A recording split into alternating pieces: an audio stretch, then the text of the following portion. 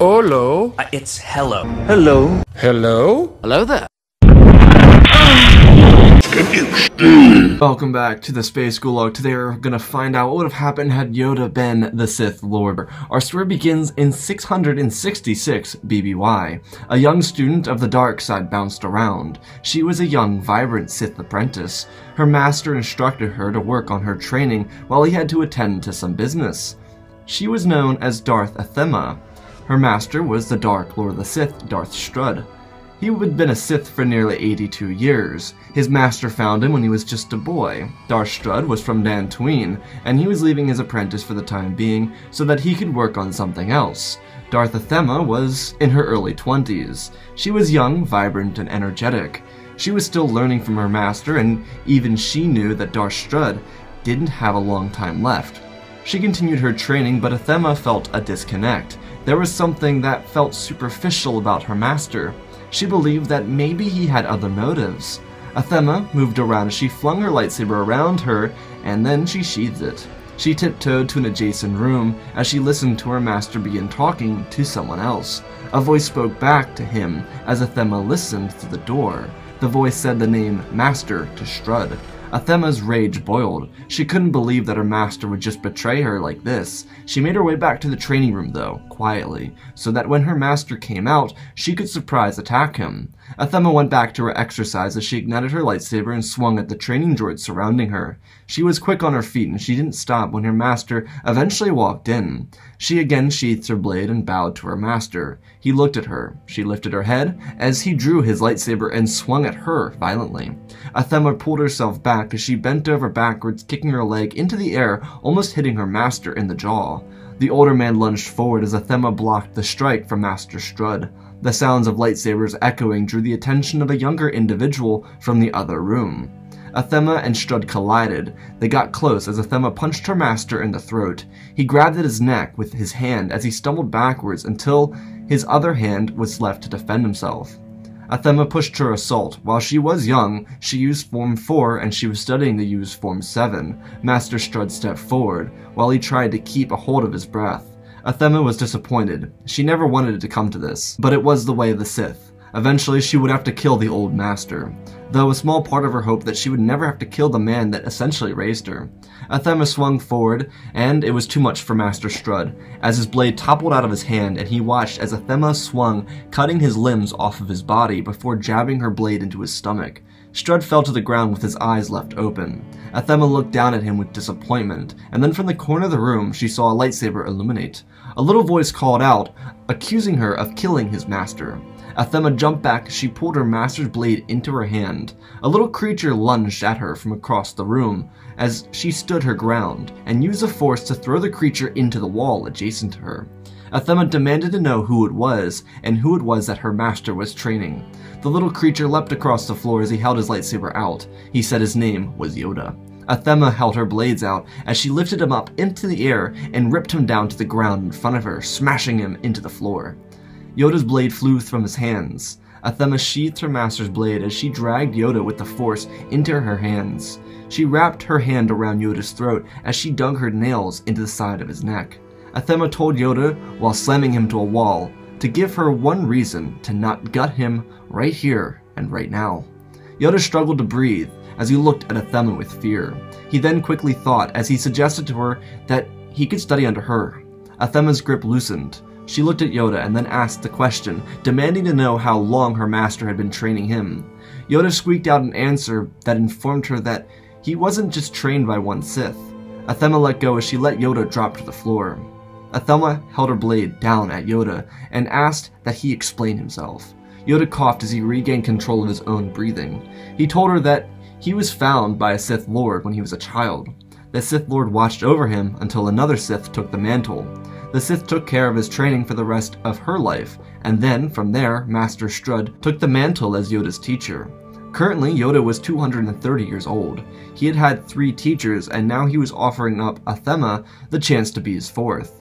Yoda was still learning, there was no inclination for him not to to continue his learning. His species were known for living up to a thousand years old easily, and he would certainly need another teacher. Though the problem is, Yoda had more training than Athema. On the other hand, Athema had more power than Yoda. She was impressive. She was an impressive student of the Force, and she had the potential to become a great Sith. Her power made her someone that Yoda knew would be a good master. Yoda really was more afraid of her than not, and while he was in his 200s, she and him were close to the same age in terms of their species. Though Athema was slightly older, and she had to figure out how to become a master of a 200 year old Sith apprentice. Athema had some ideas. Currently, the Sith were hidden from the galaxy. They hadn't been seen or heard from in hundreds of years. The Sith were plotting their return to power, and yet Master Strud never told Athema of what his plans were. He kept her out of the loop a lot. Darth Strud truly intended on passing Yoda on to Athema, but he felt threatened by her and assumed that she was going to kill him, which is why he drew his weapon. It was an obvious misstep because it only caused him an early death. Athema looked at Yoda. She told him that she would be in her quarters for the time being, and that she accepted his offer, requesting that he remove the body of Darth Strud from the training quarters. Yoda nodded his head as Athema walked out of the room. She walked into her quarters and dropped Darth Strud's lightsaber to the ground as she sat down on her bed and leaned her head up against the wall. Athema questioned her abilities to teach someone who was two centuries older than her. Yoda had been trained by three Sith Lords, and yet his negotiation was to be trained by Athema. Darth Athema had a question that needed to be answered for herself. It was if she could actually provide a strong enough resolve to make Yoda believe she could be his master. The only thing for Yoda was that he had a warped understanding of the Sith. While the traditional rule of two suggested that a Sith apprentice rise up and kill his or her master, Yoda was too vulnerable to do as such, so when he was passed down from master to master, he just assumed it was one master dying of old age and another one taking up the mantle of Sith Lord. It wasn't until Athema that he saw the true meaning of the rule of two, yet Yoda at this point didn't possess the poise or confidence to believe he could stand up to Athema, and while it was entirely possible that he could stand up to her, Athema was much more confident in herself as a duelist and as a force wielder than Yoda was. Athema looked up. She saw her reflection staring at her. She twisted her master's blade around in her hand. She would adopt the role of Sith Lord, and yes, while she was still very young, she knew just the right amount of information in which she could adequately train Yoda and make him believe that she was training him. The only benefit she could think of is that Yoda most likely wouldn't betray her, because he hadn't betrayed Strud or the other two Sith Lords. But Athema thought as she aged, Yoda would be close to 300 years old when she was in her 80s or 90s. Yoda would still be in his prime, which he could use that to his advantage to either kill her or let her die. Athema had an idea. She rose to her feet and walked to her master's quarters and then ripped the room apart looking for anything that would be a guide for her. Something that could possibly give her an idea of what to do. Something that could enhance her knowledge in the dark side of the Force. Athema, while still young, had no doubts about who she was and what she represented. There was no secondary thoughts about balancing out like a Night Sister, and no, certainly not any thoughts of becoming a Jedi, or joining the light side of the Force. She was fully committed to the dark side, and her loyalties were proven to work out for her as she thrived off the darkness. Much more so than Strud or even his master did. There was a reason why Yoda respected her. It was because her ceiling was much higher than anyone else he'd interacted with. Yoda believed she could only be an effective ally, and while Yoda himself wasn't aware of his own motivations or how he would handle having Athema as a master, he did know that she wasn't someone he wanted to challenge. She was someone he wanted to learn from, and even more, develop a strong friendship and relationship with. Athema pulled out a small crystal-like object. She'd never seen it before, but it was a Sith holocron. Her master never taught her the power of the ancients. Darth Strud, in a way, feared what his apprentice would become, and so he limited her. Athema, on the other hand, didn't have an ego. She was focused on the greater good of the Sith.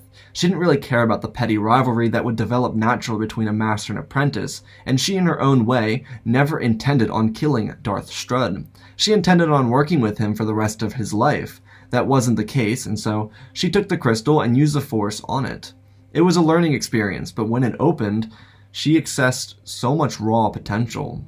She closed her eyes, and she was filled with the information she never knew she could possess. The holocron told her of what the Sith homeworld, planets, things that she never heard of. There were things that she discovered as well, some of them being lightsaber techniques, force abilities, and a wide array of everything in between. Athema opened her eyes, and before her showed a hollowed up map of the galaxy. Only planets on the galaxy were named with precise coordinates and hyperspace lanes on how to arrive. Some of the planets that were on there were by the names of Krayiss II, Korriban, Malachor, and Exegol. These were all planets of the Sith homeworlds, places full of knowledge that could give Athema and her new apprentice a means to grow their power. Athema closed the holocron and looked around at the mess she made. She continued searching throughout Darth Strudd's stuff and didn't find anything of interest to her, except a small necklace that he normally kept on his person. On the necklace was a small figure. It was very odd looking, but she placed it on her belt as she wrapped her robes around her. Athema walked out of the room as she called Yoda's name and started walking towards Strudd's shuttle. Their lair was hidden on a backwater world. It wasn't really much of a lair either. Strud didn't have a concept of the Force, and so he didn't have a Sith altar. The biggest failure of the Sith was their inability to rise above their own failures. The Sith for thousands of years were fragile. They had no real power. The last time they had any power was with Malgus. Darth Bane's decision to cut down the size of the Sith Order made their chances of finding a gem within Force users much less likely, allowing the Jedi to capitalize in the lack of Sith. All the best Force users in existence lived within their own societies, whether it be the Jedi, the Baran Do sages, the Ahch-To-Run, the Bozique priestesses, or the Night Sisters. Athema walked forward with a strut in her step. She showed nothing but power within her step. She stomped and turned to look at Yoda, who walked out of the adjacent room. He bowed to her and asked what she would like. Athema gestured forward to him to follow. Part of Athema believed that she would have to be tougher than she normally was. Athema was already tough, as it was, but it was more so keeping up the imagery of a powerful Sith Lord, considering that's what she was now. Probably the most powerful Sith Lord since Malgus or even before him. Athema and Yoda walked out to a small shuttle parked outside of the building in the middle of the barren wheat field that they were positioned at. Athema stepped into the ship and stepped hastily onto the bridge as she opened up the computer console and placed different pieces of the ship's navigation system on and around the Sith holocron. Athema told Yoda that they were going to reinstate the Sith legacy. Strata and the Sith before them were failures. She told Yoda that they would break the rule of two. Yoda almost immediately questioned why she thought this was a good idea, but she then reaffirmed her thought process. She told Yoda that they wouldn't create an army of Sith like the ancient days. and said they would push for something much more stricter and smaller. Athema pulled the ship into the air and pulled out of the atmosphere as she looked down at the holocron and locked in the coordinates for the closest Sith star system. When the ship jumped into hyperspace, Athema spun her seats towards Yoda and asked what he was taught by Master Strud. Yoda quickly responded as he told her everything that Strud taught him. Either Darth Strud was too stupid to learn anything from his master, or he was too afraid to teach Athema more information because he feared her. Yoda admitted it seemed like Strudd taught him everything he knew. Athema leaned back in her seat, as she registered that Darth Strudd was a failure of a Sith, something that really disappointed her because she looked up to him. Of course she did. He was essentially her father. For the rest of the trip, through hyperspace, the bridge would be silent. There was not anything said between Yoda or Athema. Hours later, they would arrive over a dark planet. Their first destination was Krayiss II. It wasn't one of the widely known homeworlds of the Sith, but it would be a good place for the two of them to start their training. Athema glided the ship down through the atmosphere and landed under the shadow of a Sith temple that rested gently above the fog that covered the entire planet. When the ship landed, Athema turned everything off and stood up.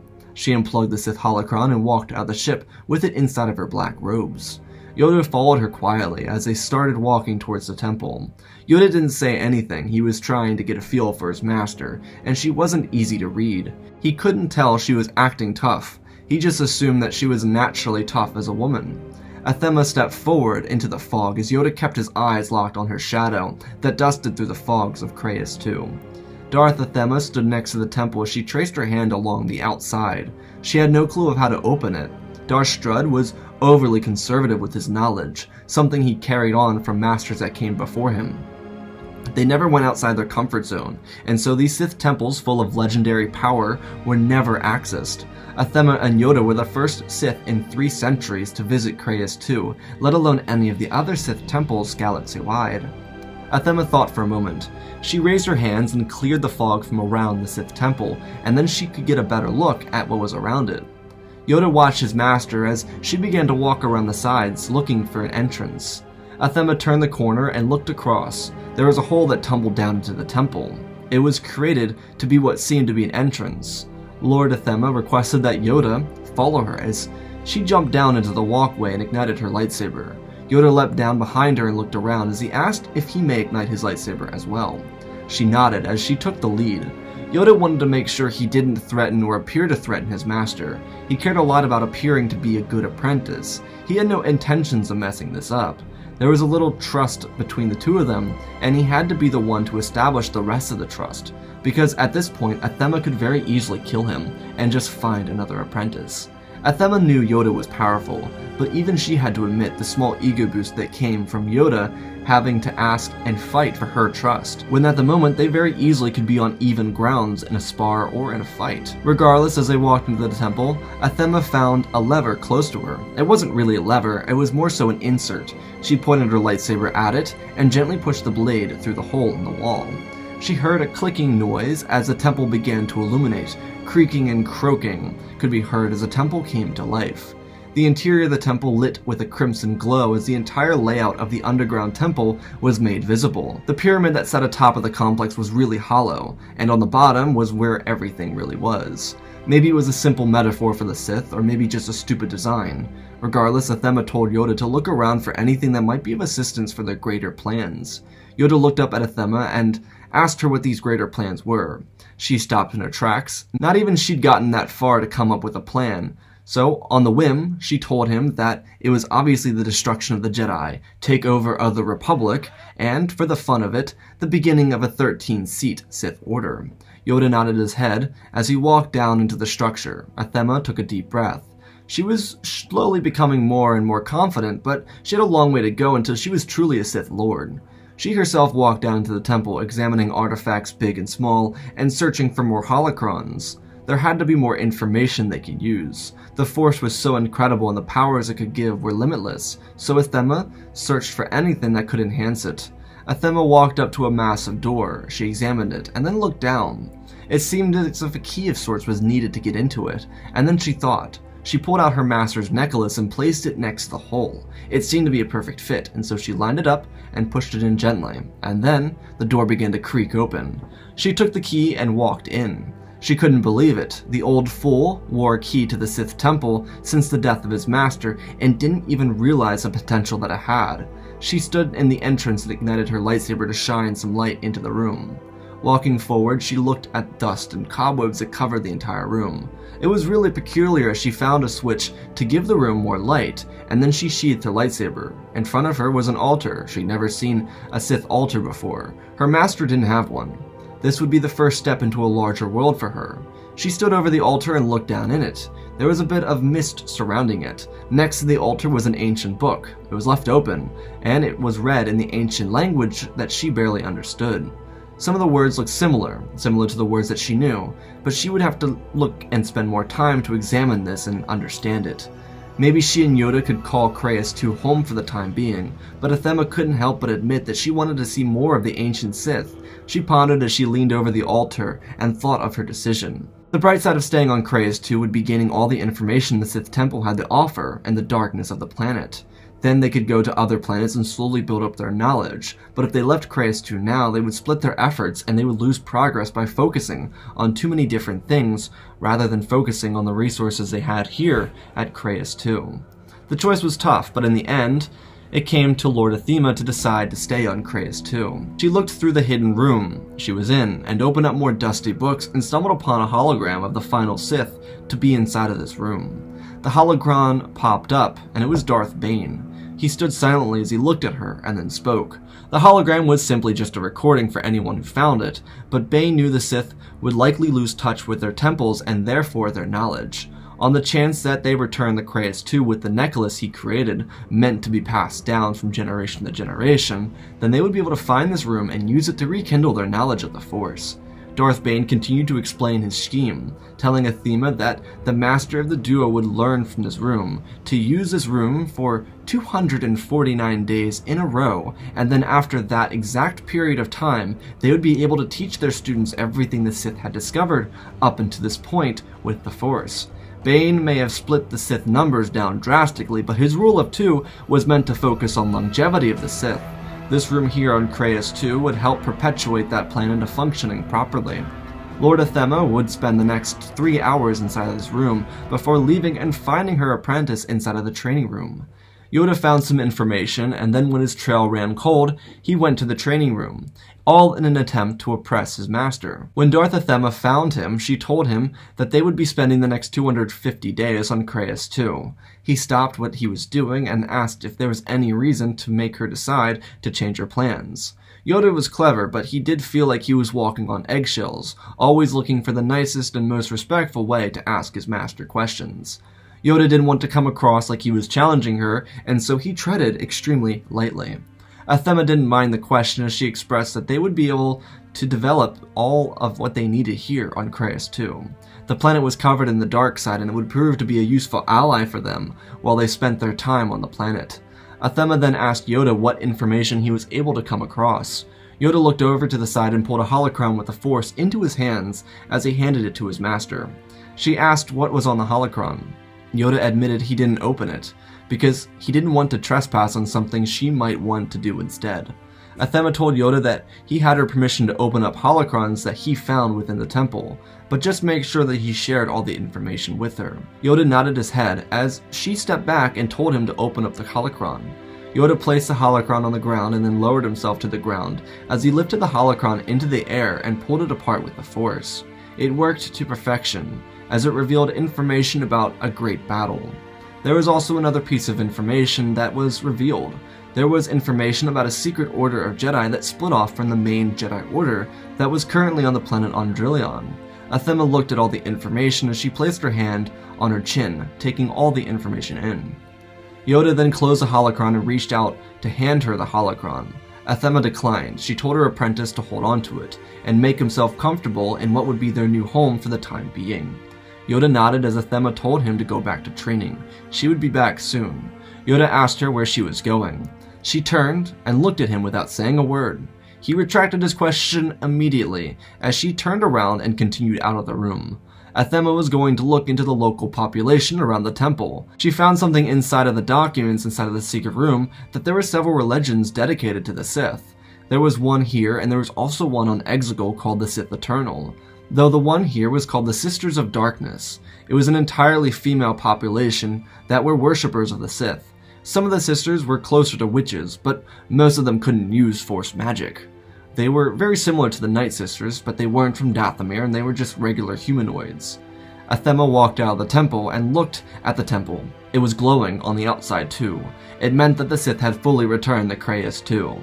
Athema looked outside as she climbed out of the entrance and saw 30 or so women, shrouded in dark cloaks as they started speaking in the same language that was in the book. Athema rose above them, and then they all got on their knees to worship her. Athema welcomed us. This is what it meant to be a Sith, as she looked down at the witches and smiled. She was powerful, and they respected and feared her power. Athema loved this, and she continued forward as they jumped up and offered her a sacrifice in the form of a child. Athema looked at the child and pushed it away. The witches assumed this meant they would all be killed, and so they made preparation to make up for it. They ran down into the village in a great haste as they prepared a spell that the Sith Lord could use. Athema stepped down into the village, and then she waited. The Sith magic was certainly interesting as she watched the witches concoct their spells. Hours later, Athema would return to the temple after displaying the Sith had returned, enough to make sure the witches saw her as their new lord. The next 250 days would fly by for Yoda and Athema, and while Yoda grew in his power under the training of Darth Athema, she tripled in her own power under the teachings in the form of Darth Bane.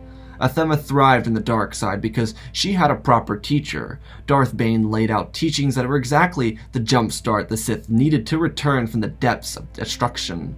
The Sith were so close to extinction, and if Strud didn't have an apprentice like Athema or even Yoda, there was a good chance the Sith Order would have died and their return would never, ever be seen. Athema grew in the Force, and while she did, her and her apprentice trained in epic sparring sessions.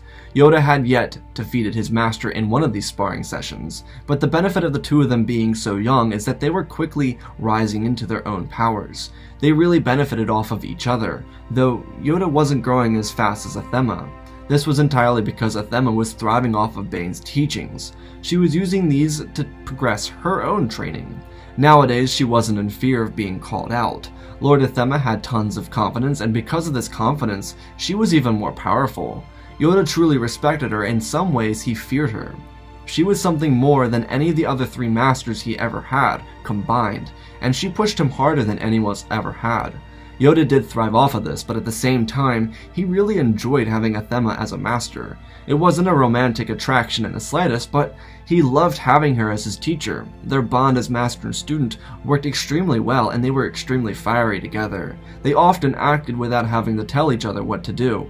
Before Athema spoke, Yoda was already on top of the task that she wanted him to do, especially because they spent the majority of the last 250 days around each other. Yoda also greatly respected Athema and never questioned her, which made Athema trust her student a lot. She wasn't going to teach him everything just yet, but she fully intended on teaching him everything before she died, hopefully not by his blade. Athema's lessons with Bane went successfully. They built her up and gave her everything she needed to be a successful master. She learned the importance of the Force for a Sith Lord. She also learned incredible abilities that she didn't know Sith could possess. It wasn't an understatement to say that Master Strud almost destroyed the Sith. Lord Athema didn't realize she could use Force Lightning or Force Choke for starters. It was a wonder he knew anything. Lightsaber forms were common knowledge, but the information Lord Athema learned from Darth Strud regarding Form 4 and Form 7 lightsaber combat wasn't even a tenth of what either forms held. Everything was reduced to simplicity, maybe a reason why the Sith weren't able to strike against the Jedi in over 300 years.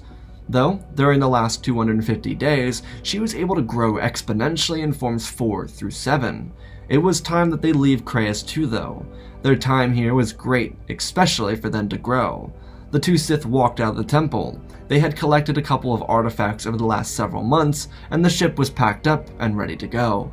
Athema and Yoda walked into the shuttle. The original holocron from 250 days before was already locked in and ready to go, so all they needed to do was lift off and head to the next closest planet. Athema was reminded of a small order on Andrilion, and so she and Yoda would take a detour from Krayiss 2 to Korriban, and they would head to Andrilion first. Athema and Yoda were planning on executing an order of former Jedi. The A'Tairund weren't really even Jedi. They were just a peaceful group of priests, and didn't relate to the Jedi in any way. The A'Tairund protected and kept the peace, but they didn't have the wide reach of the Jedi. One of their members stumbled on the Krayiss 2 within the last 48 to 68 hours and left hastily when he discovered the Sith. This action would cost the small order of priests everything. When Yoda and Athema landed on Andrilion, they found the temple. They walked out of their vessel with poise. Lord Athema looked down at Yoda and told him to move forward and address the first members of the A'Tairund. The Council of the A'Tairund greeted the small Sith apprentice. Yoda didn't have time for this as he raised the first member of the A'Tairund into the air. Yoda didn't choke him, he just looked at him and the horror that came across his face and the others. They were really essentially Jedi, and as soon as they saw the Sith as a threat, they ignited their lightsabers. Yoda grinned as he threw the first member back and ignited his lightsaber. There were three members of the A'Tairund in front of him, and they all leapt into action. There was only one issue though. The members of the A'Tairund were very specifically focused on defense, and they only trained in the traditional Form 3 lightsaber combat. The A'Tairund didn't use any other lightsaber forms, and they struck especially to defense. Yoda leapt back and then forward as he swung at the knees of the A'Tairund. They cried out in fear as some of them weren't quick enough to defend themselves. The sounds of lightsabers and the screams of agony alerted the rest of the temple. Lord Athema walked forward as she knelt down next to one of the A'Tairund priests who had his knee cut open. She looked at him and watched as he pleaded for mercy. She placed her hand on his throat as his pleas for mercy turned into fear. Lord Athema ignited her lightsaber and dragged it down into the man's neck, just enough so that he could suffocate to death. Athema got up to see Yoda making headway, through the Jedi. She grinned as she stepped forward and then removing her robes, wearing a rather revealing outfit as she lunged into attack. Yoda looked to his left as his master cut down two Atarund that were moments away from striking at him. Yoda watched as Athema shot lightning out of her hands and flipped over the A'Tairund priest, who ate the lightning with his face. Lord Athema cut through him as she landed upright and ignited a second lightsaber. She jabbed forward and swung around as she collided with an approaching lightsaber. Yoda jumped up as he tried to keep pace with his master, but when things slowed down for him, he looked over and watched it like it was slow motion. Lord Athema was surrounded by six Aturun priests, and she moved like a cyclone. Her movements were precise and defined, not missing a single beat. Every strike, every moment was brilliant as she cut down those around her. She kicked back and then rolled forward as the Aturund were at such a disadvantage, not a single one of them were warriors. None of them were ever Jedi. They were all peacekeepers, never subjected to being warriors, and it cost them all their lives. Darth Athema continued forward as she began to use the Force to crush pieces of the building, dropping them down on the younger members of the Aturund. There was no remorse for them. The travesty is that the Aturund was definitely a better organization than the Jedi, and instead of the Jedi being wiped out, the Aturund would face extinction within several minutes of the Sith arriving. Lord Athema made sure Yoda understood that there were to be no survivors. There was no mercy on the dark side of the Force. The entire purpose of the trip to Ondrilion was a max execution for the Aturund. The Sith were back, and the Jedi wouldn't even know, because no one cared about the Aturund. They were seen as traitors to the Jedi and forgotten to time, and now their order would be forgotten and left to shambles that no one would ever, ever discover. After 30 minutes, there was no one left alive. The entire Aturund was wiped out. Yoda looked at his master as he asked her if there was anything else that they were going to do while they were here. She smiled and shook her head as she pulled her robe with the force and wrapped it around her body as she walked back into the ship they arrived in. Yoda understood and followed her. There wasn't a doubt in his mind that she knew what she was doing. They would be heading to Korriban to continue their training. Lord Athema knew what she had to do. She knew what she had to learn and she wanted to accomplish on the Sith ancient homeworld. As for Yoda, he wondered what his master would have in store for him. Yoda sat quietly in the cockpit of the shuttle. Lord Athema rested her eyes in the seat next to him, as he thought about what he had just done. Yoda looked at hyperspace coming towards him. Was the execution of the Aturund worth it? They were essentially defenseless. Yoda hadn't had a cruel master before. Strud and the two before him hadn't taught him the true nature of the dark side. Of course, Yoda and Athema were still figuring it out, especially the way that came before them when Bane was a true Dark Lord of the Sith. Yoda just couldn't understand. He got that the Jedi were the moral enemies of the Sith, and Yoda had no issue with using the dark side, harnessing it for its power, but the Aturund weren't Jedi. They were a bunch of priests. They had no real impact against the Sith or what they were trying to accomplish. Yoda wasn't sure if he was overwhelmed or if it was just overanalyzing the situation. He couldn't deny the fact that it felt good to massacre those who were inferior to him, but something just felt pathetic, like there wasn't any competition to it. Yoda looked back to his master and almost fell out of his seat. Her yellow eyes were staring into his soul. Athema asked Yoda why he was questioning what they did on Ondrilion. Yoda hesitated. He felt like it was a trap question, though on the contrary, it was out of curiosity.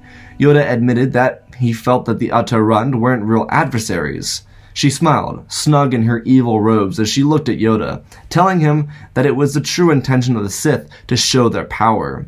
Those around the galaxy would need to learn to respect the Sith and the power that they would hold so dear to them.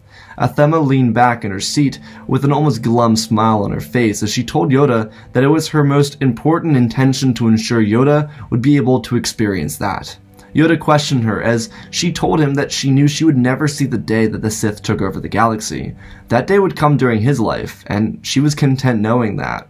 This almost immediately broke Yoda's heart. Yeah, yeah, yeah, the way of the Sith, but his attachment to his master was very, very important to him, and he knew because of his species' lifespan that he would outlive her. But the fact that she was working so hard for a future that she would never see was not only sad, but it was inspiring in a way.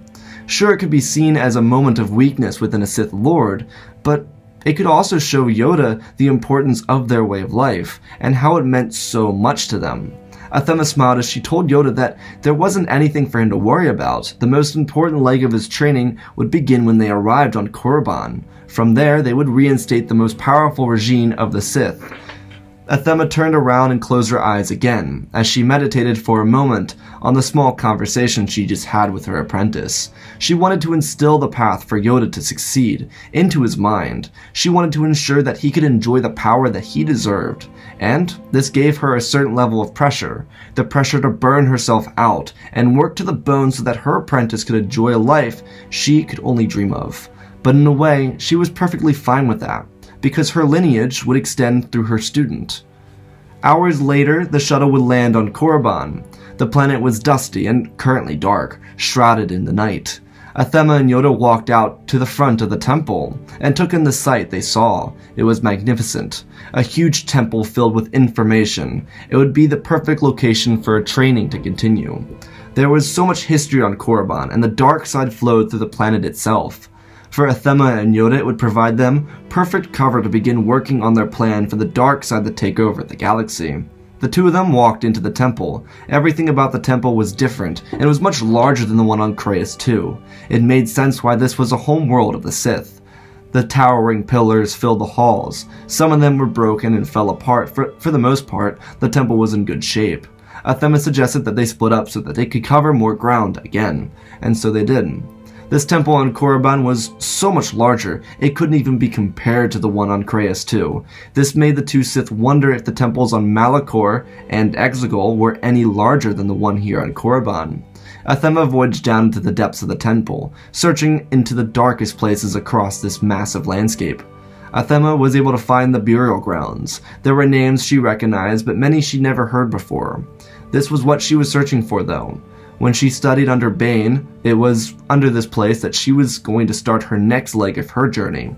In the tombs, she would find artifacts and be able to access the power of the dark side in a much more concrete way. From these tombs, she would be able to use these artifacts of the greatest Sith the galaxy had ever seen to harvest her own power from it, and then teach that to Yoda. Yoda, on the other hand, would take notice of the great interior, finding the throne room for the Sith Lord. And he also found a room for what seemed to be spells within an altar in the middle. Yoda was more or less excited to bring to his master the throne room. Just a little something she could enjoy since she wouldn't, in her words, live to see the downfall of the Jedi. Several hours later, they would reconvene in the middle of the temple by happenstance, to which they would both tell each other what they found. There was no library here. It seemed as if Korriban didn't have any Sith holocrons. Regardless, Athema informed Yoda that the next step of his training would begin. Yoda, on the other hand, showed his master the throne room, as he expressed how much he thought she should have it. Athema knelt down and placed her hand on Yoda's shoulder. She looked over and pointed at the throne. She told Yoda that while she was the Sith Lord and his master, that throne wouldn't be for her. That throne would be for the Sith Lord that defeated the Jedi. That would be Yoda's throne, and until then, she would teach him everything he needed to know so that the throne would become his. Yoda understood, and then for the next five decades, Yoda and Athema would become the most powerful Sith since Malgus, or the Sith Triumvirate. Their journeys would take them from Korriban to Malachor and to Exegol. On Exegol, the two of them would discover the ancient Sith Eternal, a group of loyalists that believed in the way of the Sith, similar to the worshippers from Krayiss 2. The two Sith Lords had no interactions with the Jedi in the last 50 years, but they did come up with a plan they believed should work. Lord Athema was in her 70s, rapidly approaching her 80s. The dark side made her powerful as an older woman, and she was still strong, but noticeably weaker overall. She no longer had the energy of her younger days, and her apprentice was able to outdo her in every aspect other than the Force itself. It was a narrow margin, but just enough though there was no intention from Yoda to follow the traditional method of killing off his own master, taking on the role of Sith Lord for himself. By this point, the plan that Athema helped Yoda conjure up was in the works. While Athema spent most of her time on Krayiss 2, mostly tormenting the Sisters of Darkness for her own enjoyment, Yoda was out scouting out the galaxy, looking for the 12 Force users that would eventually fill the Order of 13. Yoda and Athema decided against just having two members, noting that the three masters before Athema had broken the rule of two. While technically Yoda wasn't an apprentice, it was technically of a technicality, and honestly, no one really had time for that. So Athema and Yoda set up Yoda to begin his Order of 13. He'd be searching for Force users, though the only issue is that they were often claimed by the Jedi weeks before Yoda could catch up to the scent. Their decision to leave the rule of two was just a theory. Yoda was growing into something so much more incredible than his own master. The intended journey was becoming complete, and at 300 years old, it would only be a matter of time before Yoda became the great Sith Lord. Yoda was on the trail, and as soon as he found the first child, he carried on a hot streak, finding seven more children of the Force. Within a month and a half, all of these children would be brought back to Krayiss 2 to be with their Grand Master. Athema would take care of the children until Yoda had all of his students. Athema didn't have much to do. She had small incubators to take care of them when she was out torturing the Sisters of Darkness for her own amusement, but for the most part she did take care of them. It would take the rest of the year for Yoda to find the other five children of the Force.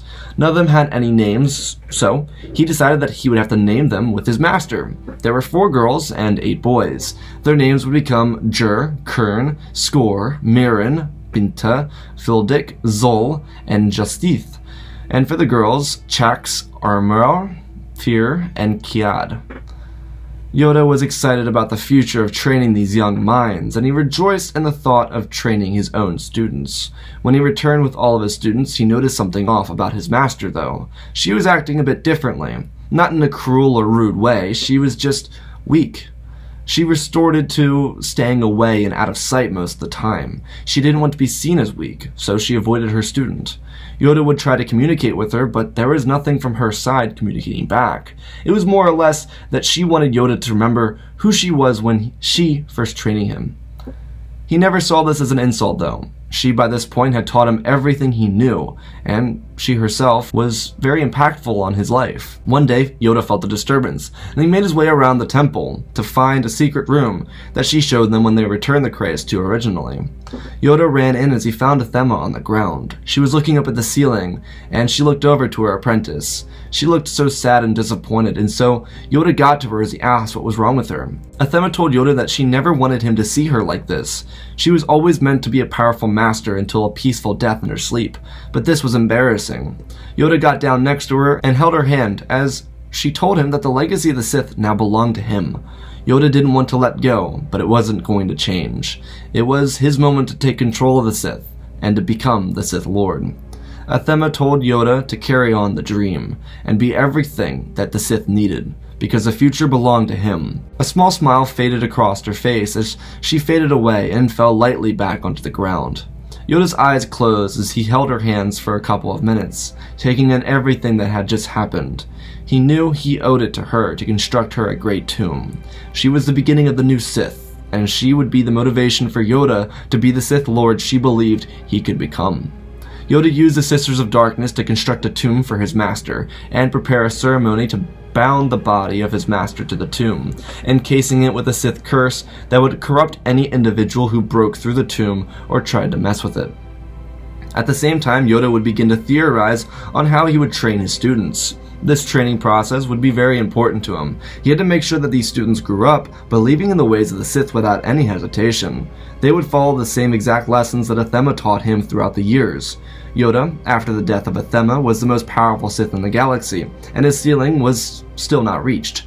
Yoda was around the same power as Athema, but he still had much higher a ceiling than she had.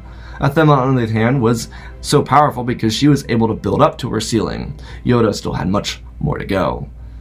Yoda planned out everything he needed, but the truth is, he would feel extremely lonely for the next couple of years. Sure, he was able to interact with the Sisters of Darkness and the Sith Eternal, but there was no one like his master, and for the first couple years, the 12 children he brought back to Krayiss too, he felt alone with as well.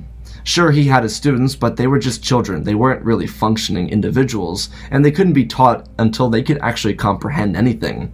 So Yoda locked himself away and planned lessons out, and when the time came, he rejoiced in the functionality of his students. But just because they were kids, it didn't mean they got an easy pass.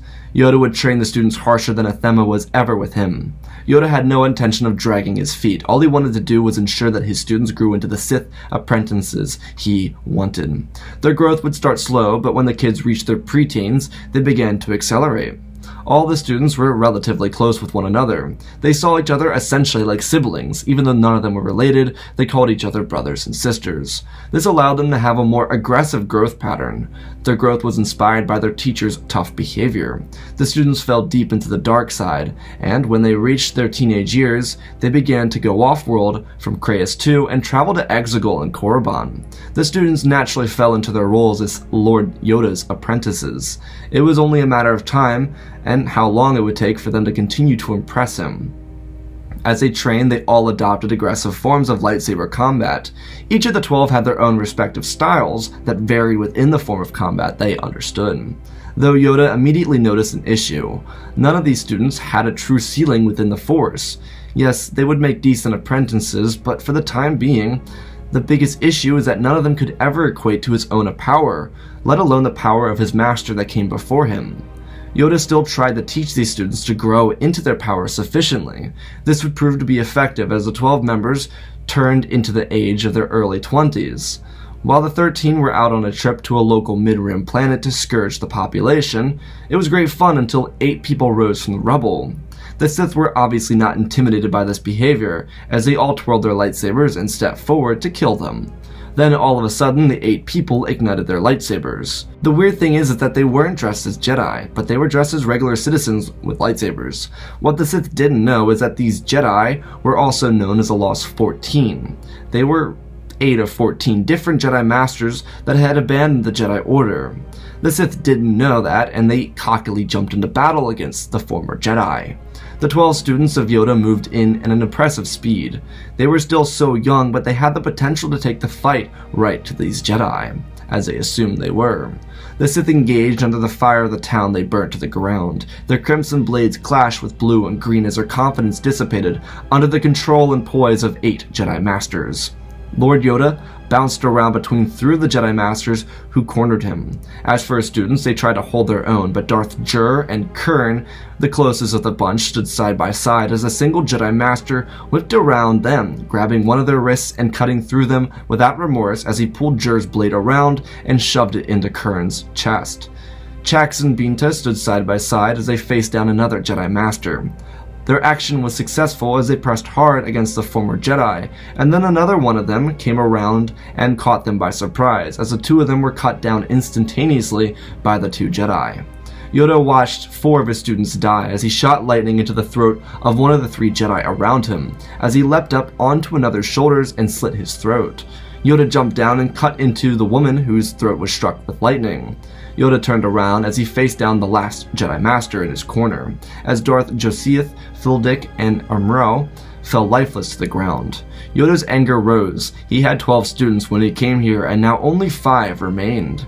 Yoda leapt around and used the Force to snap the back of the Jedi in front of him, before running forward and dragging his blade through the ground and through the body of the Jedi that lay there helpless. Yoda turned to see five Jedi and five of his apprentices facing off. Yoda could see that they were scared. They had each lost their brothers and sisters and they were terrified. Yoda leapt in front of them as he assured them that they would come out victorious. Yoda rallied his students as they felt confidence grow, and their feelings of success tripled. Yoda leapt in front of them as Zol and Kiad followed their master. Fear and Skor and Mirren stayed close behind, pulling up the rear. Yoda was able to separate the three Jedi Masters from the main group, all three of them recognizing that Yoda was the leader. The other two took on the remaining five with extremely high confidences. The Jedi lunged into attack and the Sith apprentices fell back in almost complete terror. In the front was Zol and Kiad as they pushed back. Führer moved up to help out her sister as Mirren joined his brother. Skor began to backpedal in fear, afraid of the Jedi and the power that they possessed. Yoda jumped in between the three Jedi, leaping up and down as he harnessed the true power of the dark side, shooting lightning out at the three Jedi and then lunging at them. Their fear was shown in their facial expressions. Behind him, Zol and Mirren were making a push on the Jedi Master, as Firir and Kiad struggled a bit. They called out to Skor, who ran forward, seeing that his sisters were in need of assistance. Yoda cut down two of the three Jedi, as Firir, Skor, and Kiad were able to kill their Jedi Master. Yoda turned back as he threw the blade forward, and then using an ancient technique, ignited the two blades of the fallen Jedi and lifted them up into the air, using the Force to manipulate the blades in the lightsaber combat. The Jedi dodged the thrown lightsaber as he ducked around and swung at the two blades floating before him. Yoda twisted around as he pushed both blades against the Jedi Master. He stumbled, and then Yoda pulled his own blade out and cut through him. Behind him, two Sith were able to cut down the final Jedi. Yoda turned around and sheathed his blade as he looked at his students. Yoda was disappointed. They outnumbered the Jedi and yet they suffered just as many deaths. Yoda still not processing that those who they were fighting were not Jedi. They were not regular Jedi Knights either. They were experienced masters who abandoned the Order, opening them up to the full range of the Force, making them stronger than any average Jedi Master. Yoda didn't say a word because, before he could say anything, Lord Mirren stepped forward and yelled at his master. Yoda looked at him as if he lost his mind. Mirren accused Yoda of not defending them. Yoda shot back, telling him that he was trained to defend himself with the power of the dark side. The failure of the other students wasn't a reflection of his own teachings. Instead, it was a reflection of their own inability to be the apprentices they should have been. It was a failure to be better. Then Zul stepped forward, taking the side of Mirren. Shortly after, Firir, Kiad, and Skor took the side of their fellow brothers and sisters, standing up to their Sith Lord, Master. Lord Yoda didn't take this too seriously as he tried to calm them down, and then from the debate came the sound of a lightsaber ignited from Zul, as he told Yoda that this would be him becoming replaced. Yoda didn't hesitate. This was a threat, his students failed him, and now their betrayal would be dealt with. The travesty of this is that the fact that Yoda wished he would have the same relationship with these students as he did with his master. And through all of it, it made him realize the truth about the rule of two. This was the exact reason the rule of two was created by Lord Bane. Its purpose was to serve the longevity of the Sith. Had the Sith kept the same relationships of Athema and Yoda, it would have been much different.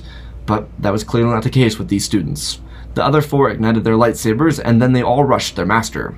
Yoda stepped back as he took a deep breath. He leapt through the middle of them, cutting off Skor's legs as he cried out in pain. The other four of them turned. Yoda moved like a blur. He jumped up as he clung onto Kiad as she panicked. Yoda slit her throat, and then jumped over and cut through Zul. Yoda shot lightning through Mirren and then threw his lightsaber at Firir. She was able to deflect it, and then Yoda moved at her with the intense speed, splashing up and down as she dropped to the ground dead. Yoda turned to Skor, his last apprentice, still alive.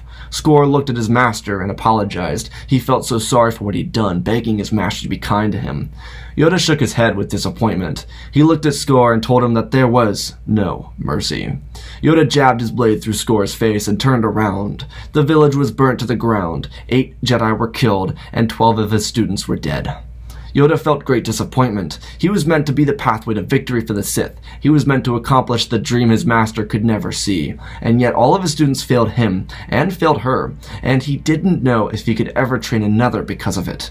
Maybe it was a drastic feeling, but he needed some time away from teaching. 20 years since his master died, and 20 years since he began teaching a class of dead students, traitors to the ways of the Sith. Yoda knew that from here on out, he'd be sticking to the rule of two. It was just a matter of finding the right Sith Lord that would fit his new plan. Yoda would decide upon what to do to empower the Sith. As the years picked up, turning into decades and shortly thereafter turning into centuries, Yoda would have new apprentices and students, none of them being anywhere close to his power, all of them falling short of living a successful life and the very few of them that ever challenged him faced the same fate as the five students who died in the mid-rim. Yoda was approaching his 600s, still in fantastic shape, when he traveled deep into the Outer Rim. His student had recently tried to overthrow him, a 40-year-old Rodian Sith Lord by the name of Darth Atrun. His failure was easily predictable, and it didn't take much. Yoda didn't have to use many efforts to kill him. Though Lord Athrun tried to kill him in his sleep. Yoda was much wiser than Athrun and never gave him a chance. Yoda's voyage into the Outer Rim led him to a planet of Nal Hutta.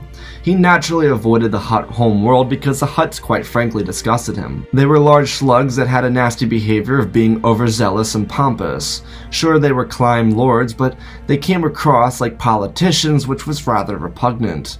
Regardless, Yoda found his way in front of the Hutt Council, and it led to a negotiation. Being that the High Republic had a tight grip on the Mid-Rim and the Outer Rim, it'd be challenging, but the Crime Lords had already been planning for the downfall of the Republic systems.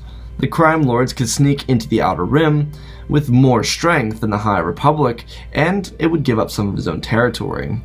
One of the planets Yoda had in mind was Tatooine. At the moment, it was a shimmering example of pride in the High Republic. The glimmering cities of Mos Espa and Mos Eisley were known galaxy-wide for being the modern example of beauty, and it would be a great place for the Hutts to interject themselves into Tatooine and watch the High Republic give Tatooine and some of the surrounding worlds up in the name of peace. The Jedi wouldn't do anything because they were under the whim of the Senate. 800 years without the Sith, and there was no reason for them to ever interject. The Hutts were certainly skeptical, but they would come to find that Yoda knew more than his small head would suggest. Maybe the Hutts should stop judging books by their covers. Yoda watched as the High Republic began to back off its territory in the Outer Rim. This didn't happen immediately, but it was a gradual process that would slowly cross over through two centuries. The High Republic would also fade out of power. The Jedi would slowly recede away from the Outer Rim. Yoda's plans would be amplified with a visit to Zygerria and bringing out the most brutal slavers the galaxy had ever seen. Yoda may have been small, but his impact on the crime lords exponentially impacted the galaxy that would inherit his soon-to-come plans. Though after not having a student for almost 200 years, he would return to Krayiss 2 and visit his master's room. He hadn't been in it before. He was just looking for answers, maybe something to give him an extra guidance on his mission to find a new apprentice. Yoda then found something that might be of interest. It was coordinates to a blue and green globe in the mid-rim. Yoda would take this piece of information and begin his scavenger hunt to the planet of Naboo. Yoda's trail would lead him to the public records of which he would find the last name of his master entrenched in the planet's history. Nowadays, it was a proud house with a couple of kids, and the youngest one of them having been born only eight years beforehand. This house had a strong political weight on Naboo. Yoda was wondering why she never mentioned this to him. Maybe she would have told him before she died, but she never got the chance because of the sudden death that she had. Yoda tracked the records to a great house, though there was something so dark about it. Lord Yoda walked in and looked around. There were dead people scattered throughout the entire house, and in the middle, Yoda looked at the ancient descendant of Lord Athema, the youngest member of the house, a boy named Sheev Palpatine. Yoda looked at a young boy with interest. The child stood with a knife in his hands, and his little pompous royal outfit was covered in blood. Yoda took a double take as he noticed all the dead people in the room. The child saw Yoda as a threat and gritted his teeth and ran at him with his knife up. Yoda didn't move. He just looked at the boy as the boy stopped in his tracks, frozen by the Force. Young Palpatine yelled out and demanded to know what was happening to him. Yoda then spoke. He told Palpatine that he was very powerful with the Force. His lineage was also very powerful. Palpatine snarled. He hated his family, and assumed that they were all political brutes, with the belligerent attitudes and repugnant behavior. Yoda walked around the boy and said it wasn't a recent family as a family member. It was someone who was the original patriarch of the power that Palpatine now possessed. Yoda asked how it was possible that the Jedi missed him. Palpatine sneered back, saying that his father believed Palpatine would make a better politician on Naboo than a Jedi on Coruscant. Yoda asked why he resented his father then. Sheev admitted that his father beat him and treated him badly. Yoda nodded his head. He told Sheev that he had come to train him to become his new apprentice. Sheev looked at him. Yoda noted a couple things off the bat about Sheev. Firstly, he was incredibly powerful with the Force. Sheev also had the same look on his great great grand and so on grandmother. Sheev and Athema had the same look in their eyes. The same natural colored eyes, too. That's essentially what it was. The third thing Yoda noted is that while Sheev was portraying himself as a little vile being, acting like he could take on the whole galaxy himself, he was afraid. He didn't realize the power he had at his disposal. While yes, he did hate his family and wanted nothing to do with them, he was afraid. After all, he killed his parents, and he had nowhere to go. He had no one to take him in. He would have to flee into the galaxy so he didn't get prosecuted for murdering his entire family. Yoda asked Palpatine that if he released him, would he have the conversation with him? Palpatine asked what he meant. Yoda raised his hand and told Sheev that he was holding him in place with the Force as he elegantly lifted Sheev off the ground. Sheev looked everywhere and then back to Yoda. Yoda smiled and placed Sheev back down gently. The little boy was eager to learn how to use these powers, but he told Yoda that if he let him go, he would plead his allegiance to him. Yoda looked at Sheev. Yoda then told Sheev that while his words were true, he knew that Sheev intended on killing him. Sheev's eyes shot open. Yoda could see right through the little menace that stood before him. Yoda expressed that while he could inhibit the powers of a true Sith, he would become nothing if he tried to vanquish his master. He would lose, and the Sith would carry on without him. No other Sith master would have been able to tame someone like Palpatine. He was actually a little menace. But considering Yoda was taught by Athema, he knew exactly how to interact with a Palpatine. Because the truth is that Sheev and Athema were incredibly similar. The dots connected perfectly. The more Sheev talked, the more it made sense. It was like he was naturally drawn to the dark side. It made Yoda question how the Jedi hadn't ever discovered this family before. Yoda released Sheev and told him to come along with him, and he would begin his training. He would be his father, the one that he never had. So they walked past the glimmering knife and out of the large house, into the hangar bay, and into the ship, where they would immediately depart for Krayiss 2. Yoda had taken all of his previous students to Korriban, so maybe he should take Sheev to Krayiss 2 instead. After all, it was the first place he and Athema went to, so maybe it would be worth their time. Yoda turned in his seat as he set the ship into hyperspace. When he turned around, Sheev's eyes were glued to the viewport, watching hyperspace come at him. It was an incredible sight for a child. So, Yoda let him enjoy it for a moment, as he then asked Sheev to tell him about himself. There wasn't much Sheev had to say that he hadn't already said. He was the son of a political family that used to have a lot of influence on Naboo, before they were all killed. Sheev was curious about Yoda, and everything that Yoda had to offer. Yoda started telling Sheev that he was in his early 800s at this point. He had trained several Sith, many of which tried to kill him. Every single one of them failed. Sheev was in awe. Yoda continued. He started talking about the downfall of the High Republic and how we contributed to that, and how his next target was the Jedi Order itself. Palpatine listened as Yoda expressed that if only the Sith had come before and done their job correctly, then maybe they would have already defeated the Jedi, and Sheev would have been able to live a life of luxury. But if Sheev worked as hard as his ancestor did, then together they could become the most powerful beings in the galaxy. The truth is that Yoda was already one of the most powerful beings in the galaxy, and Sheev had the potential to become the other, more like Athema. His midichlorian count was just a bit higher than hers anyways, but the blood that flowed through Sheev was the same that passed through Athema. When the two arrived at Krayiss 2, Yoda showed Sheev around the temple, where they would occupy. Palpatine was also to be introduced to the Sisters of Darkness. Yoda then showed Sheev what the true power was by slaughtering one of the sisters and watching them all crawl to their knees and submit themselves to him. Sheev smiled as he watched the sisters all bow to them. Yoda took Sheev inside of the temple and watched as it began to glow. Yoda continued talking to Sheev, telling him that there was a Sith name his ancestor would have wanted him to have. It was in her room before she passed. It was a vision that came to her, and the same information that led Yoda to Sheev was the same that was the name. Regardless, the name was Sidious, and if Sheev wanted it, he could have it. Sheev welcomed the name with pride, as Yoda took the newly crowned Darth Sidious to the tomb of his ancient, ancient grandmother. Yoda told stories about Athema as he showed Sheev what stood before him. Yoda then warned Sheev not to mess with it. There was a curse protecting Athema from intruders, and if he messed with the tomb, he would be consumed and cease to exist. Sheev looked at Yoda with shock and then turned around and took in the view of the temple. Yoda placed Athema's tomb in the most remarkable spot inside of the entire temple. The lighting around her tomb was perfect and the view was even better. Regardless, Yoda took Sheev down to the middle of the temple and began his teachings. For 13 years, Yoda would train Sheev harder than any other student he'd ever had. Sheev appreciated it. The training was difficult, but he was more powerful, and he was powerful enough to keep up with Yoda. While Sheev killed his family in cold blood, he became reliant on his master. Not in a bad way, but he genuinely appreciated his master, and even respected him. Yoda became the father that Palpatine never had. Even more than that, Sheev and Yoda had a very similar bond to that of Athema and Yoda. Of course, for Yoda, this was what he'd been missing. Nearly 500 years since Athema died, and finally he had someone who was worth sharing his knowledge and power with. Yoda thought the wise enough not to give all of his knowledge to Palpatine. He knew that Palpatine would be a possible threat if he did that, and while Yoda could read through everything Palpatine thought, and none of his thoughts seemed to be treacherous, still, Yoda was on edge. Over the last 13 years, Yoda filled Sidious's mind with plans of how they would destroy the Jedi. Yoda had recently discovered a temple under the Jedi Temple that could be weaponized. His plan was to destroy the Jedi Order from below. Though, for Sheev, he was given a choice. He could join Yoda, or he could get himself involved in politics. To Yoda's surprise, Sheev chose to become a senator for Naboo.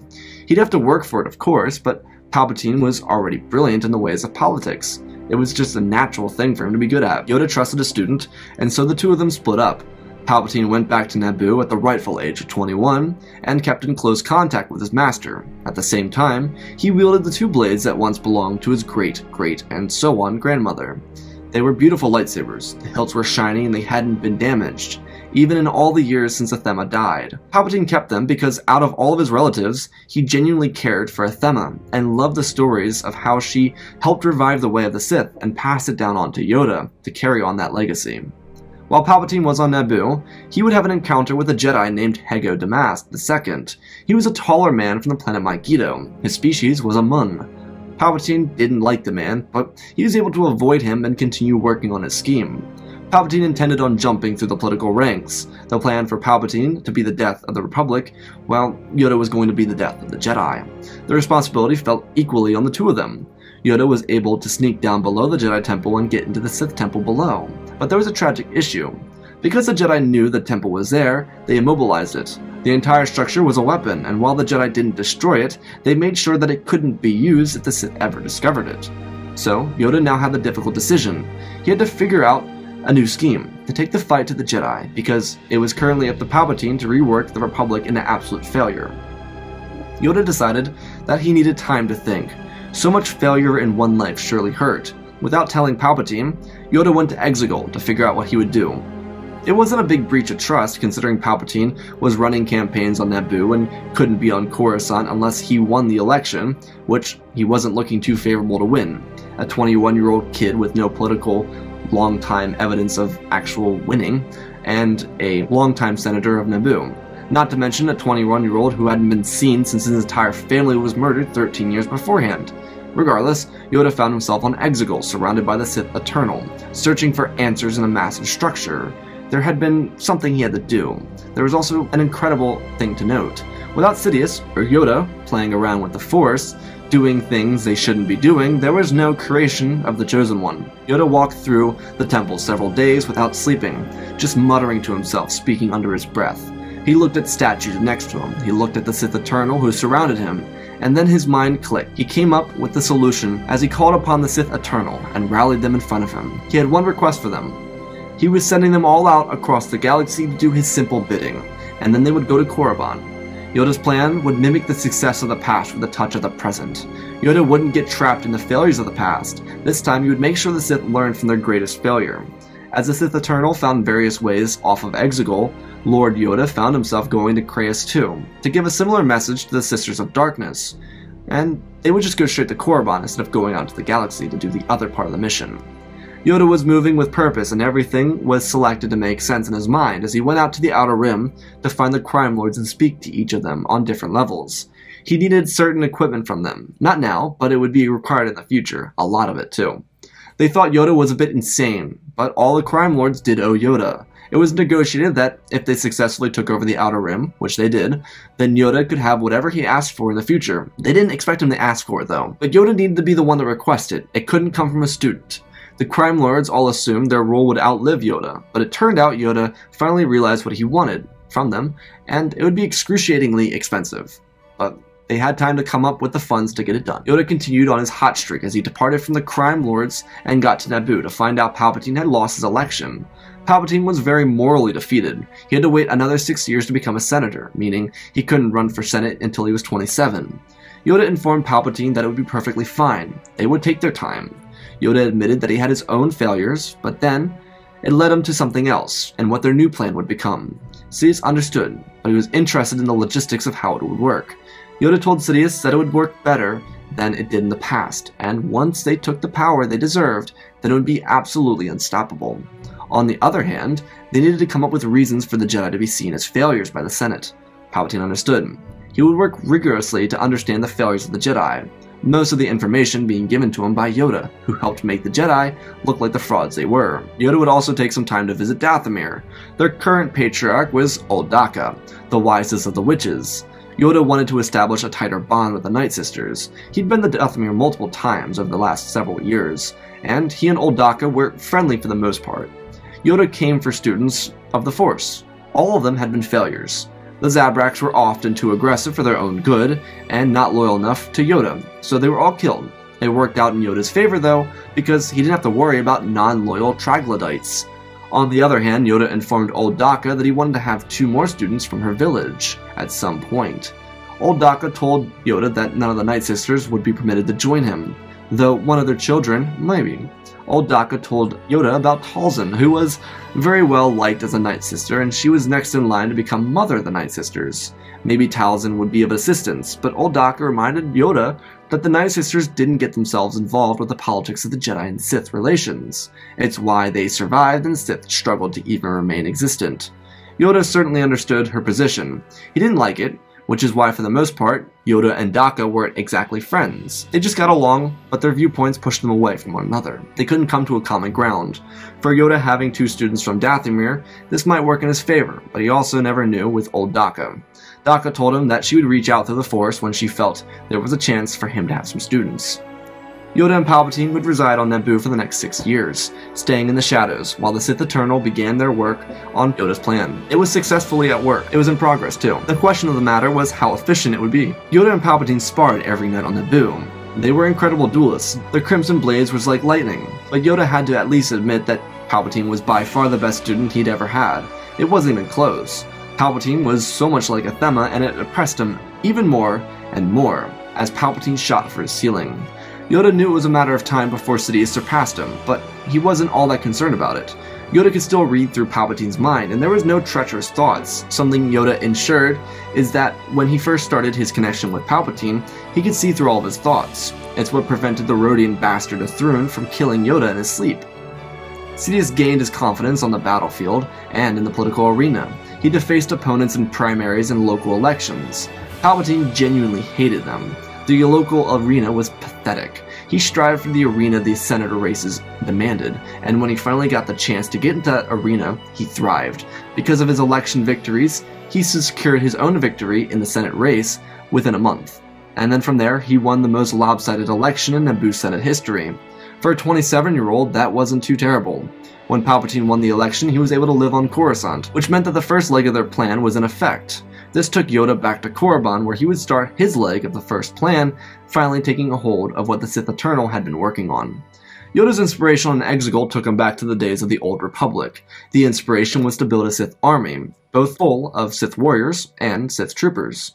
It didn't really matter.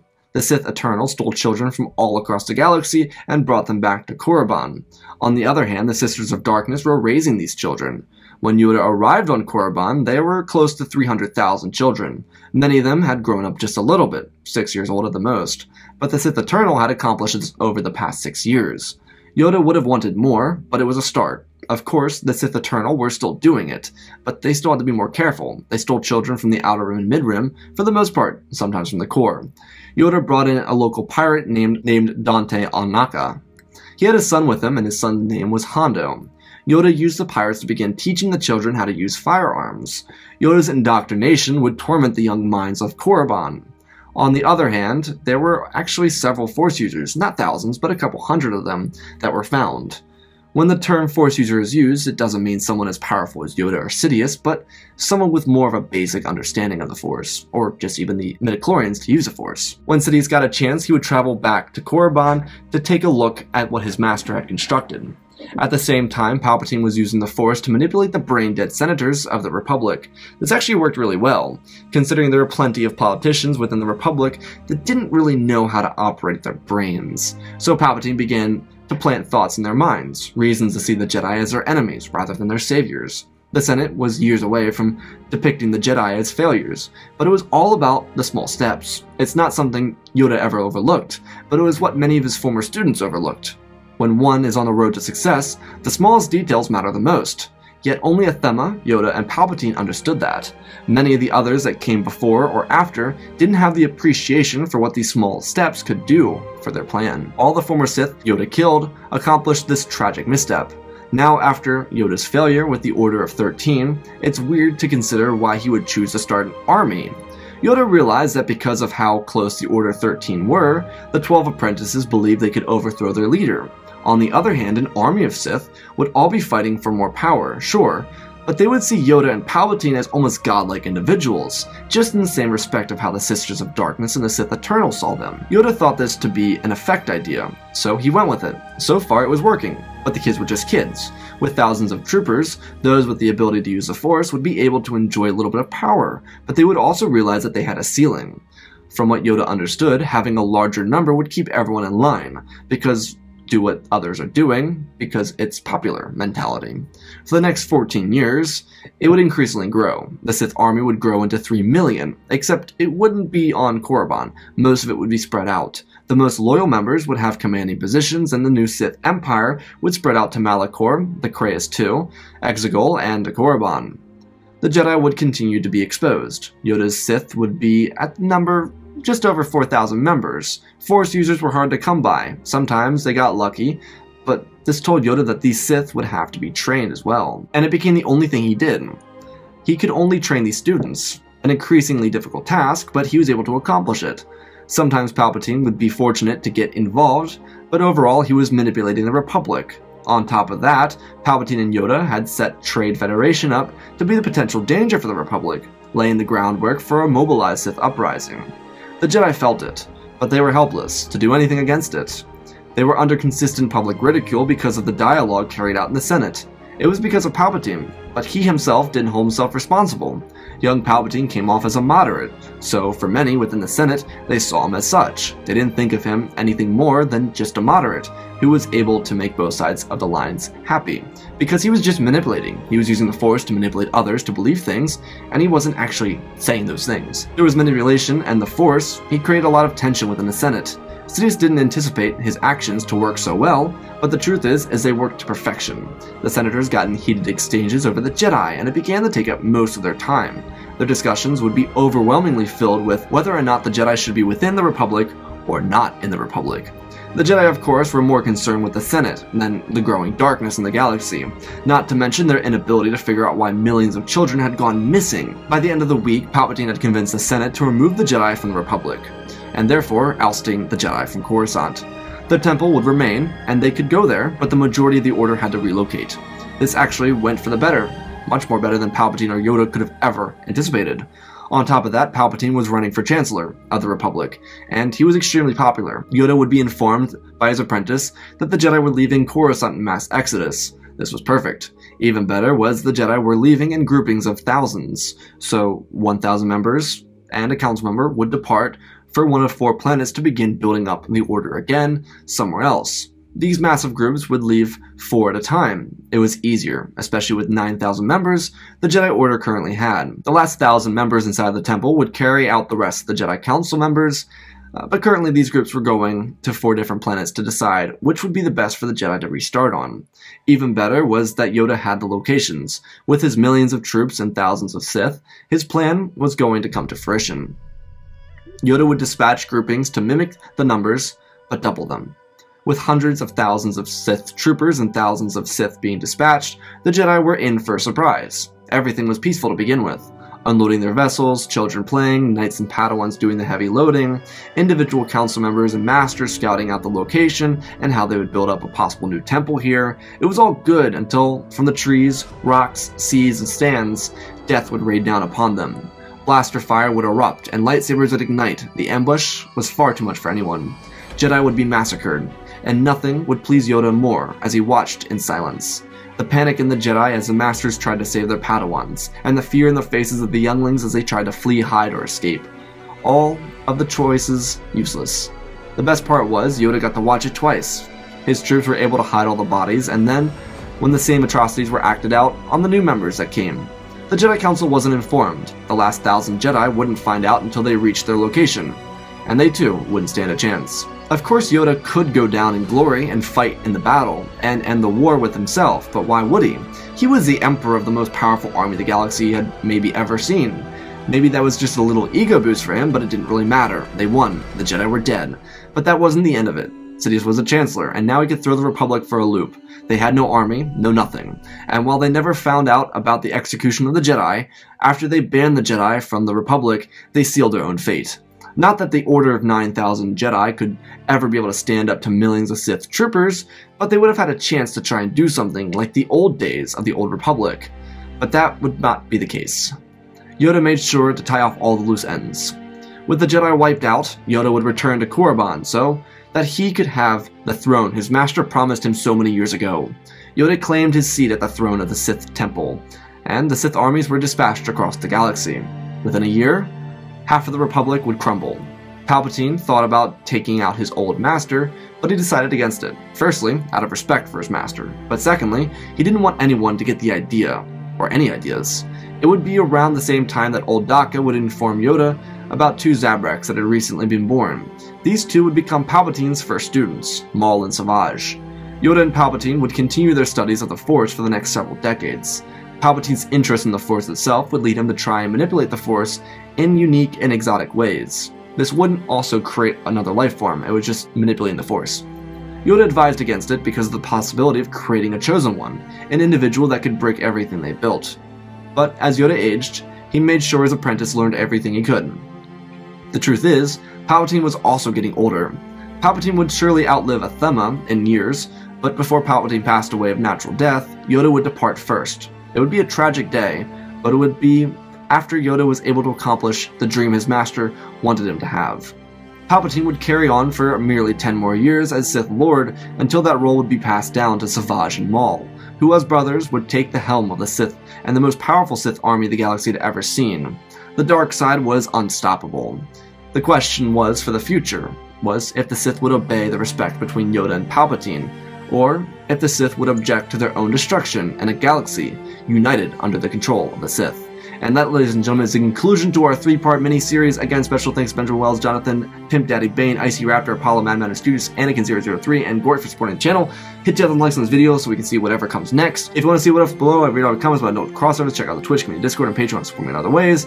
And if you want a free lightsaber, go down below. I have a doc. You go on the doc, click on the doc, write your name on the doc giving away three lightsabers. So when we hit the when we hit 50,000 subscribers, I'll be giving away. And uh, check out these other channels. I got a bunch of new channels under my brand name, so go check them out. Got a ton of new content coming out. All the content will come out on Saturday or Sunday this weekend, so stay tuned. And the importance of waiting for a series to end is what we're going to talk about. So I've got the comments all across these videos. Now, I'll be honest, I don't really care about hate comments. They don't bother me. They kind of just go through me. That's the whole point of hate comments. Just keep it in the comment section. I don't really care. Um, but there are a lot of people talking about the story.